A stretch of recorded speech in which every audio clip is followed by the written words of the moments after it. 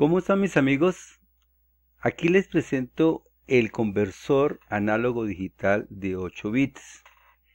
Pero antes de continuar no se les olvide suscribirse, darle like, activar la campanita, compartir, comentar y si pueden dar las gracias con una monedita. Yo sé que estos videos lo ven poca gente porque es un tema solo para electrónicos.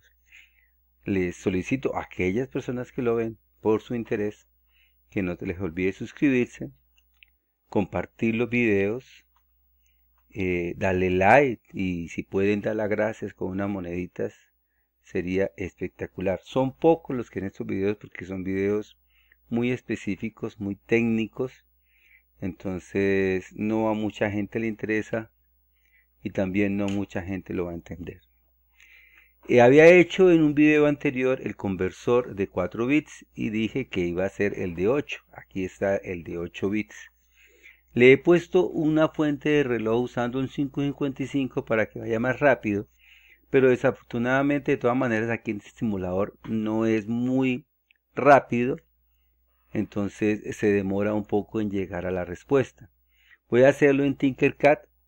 Seguramente tengo mejores resultados en Tinkercad.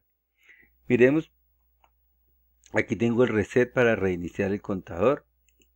Aquí comienza, miren, comienza a hacer la conversión, se comienza a incrementar. Va un poquito más rápido que con la señal de clock, pero no va tan rápido. Aquí tenemos, mire, 4.05 voltios de voltaje de entrada y mi conversor debe aproximarse a un poquito por encima de 4.05, mire.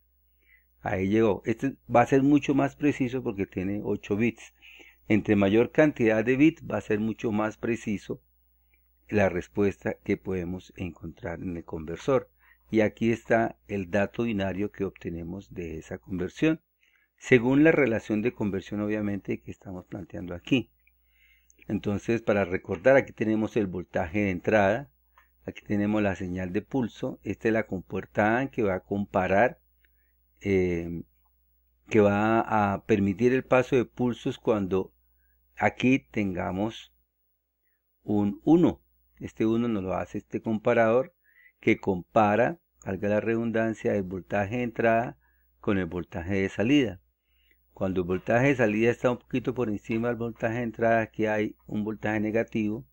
Este yo lo pongo porque a la compuerta no puede entrar voltaje negativo porque se daña.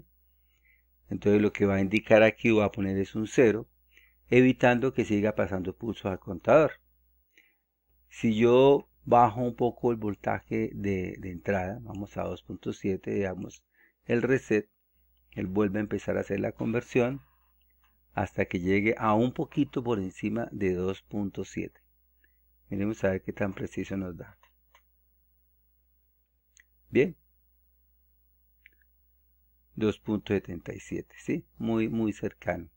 Este es el, método, eh, digámoslo así, más demorado para hacer la conversión, porque en el típico que encontramos es con el sistema de aproximaciones sucesivas, que es otro circuito distinto, y este es simplemente con un comparador y un conversor digital análogo que va haciendo la comparación con el voltaje de entrada para ver hasta dónde llega el contador.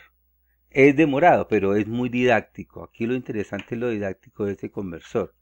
Si bajamos, vamos a bajar el voltaje de entrada más, vamos a ponerlo por ahí 450 milivoltios. Tenemos que ver qué tan preciso nos da.